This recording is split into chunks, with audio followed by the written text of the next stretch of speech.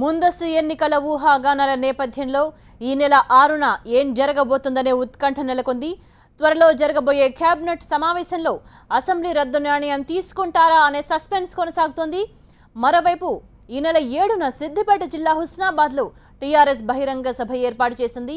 ఈ సభ నుంచే కేసీఆర్ ఎన్నికల శంఖారావాన్ని పూరిస్తారనే ప్రచారం జరుగుతోంది.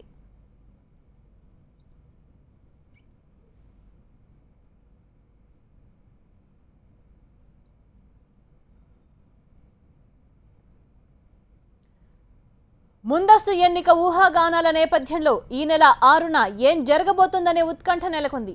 త్వరలో జరగబోయే కేబినెట్ సమావేశంలో అసెంబ్లీ రద్దు నిర్ణయం తీసుకుంటారా అనే సస్పెన్స్ కొనసాగుతోంది. మరోవైపు ఈ నెల ఏడున సిద్దిపేట జిల్లా హుస్నాబాద్లో టీఆర్ఎస్ బహిరంగ సభ ఏర్పాటు చేసింది. ఈ సభ నుంచే కేసీఆర్ ఎన్నికల శంఖారావాన్ని పూరిస్తారనే ప్రచారం జరుగుతోంది.